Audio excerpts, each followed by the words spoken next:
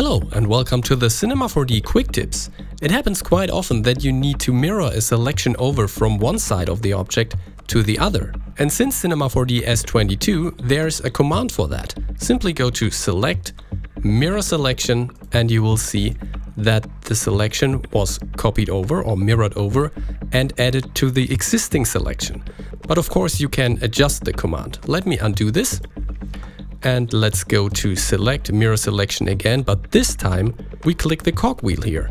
And this will bring up this small window for additional adjustments. For example, we can adjust the space for the mirror selection command. We can adjust the mirror plane. We can also adjust the tolerance in case the object is not 100% symmetrical. And of course we can adjust the selection mode. And by default it is set to mirror add, but we can also set it to mirror subtract or to flip. Let's just perform a flip, hit OK, and you see that now the selection was flipped over to the other side.